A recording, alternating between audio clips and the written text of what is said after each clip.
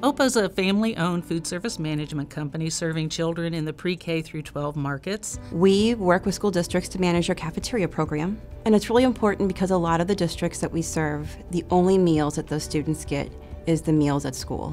The biggest impact since implementing NextGen has been the streamlined employee experience. NextGen HCM has made employee self-service so easy to use, and that is invaluable to Opaa. We have over 4,000 employees, and they are able to go in, use the search function, and they're able to make all of their changes without ever having to make a call to the corporate office. My HR, payroll, and IT teams have all seen a significant decrease in the number of calls coming into the office, which in turn then improves their efficiency. Since we have fewer calls coming in with simple questions, we're hoping to be able to roll out more trainings to our field so they have the tools that they need to be successful in their roles. ADP's next gen technology has helped us tremendously. It has streamlined the account creation process, not only for next gen itself, but for our other systems like Microsoft, where I don't have to do much as far as account creation, otherwise assign the specific license to somebody.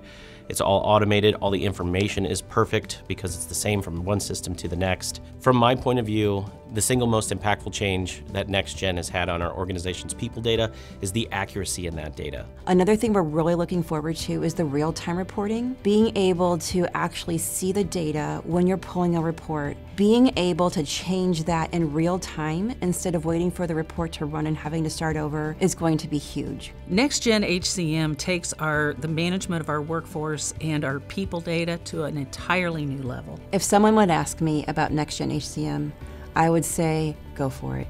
It has been a game changer for our organization, and the implementation process could not have been smoother.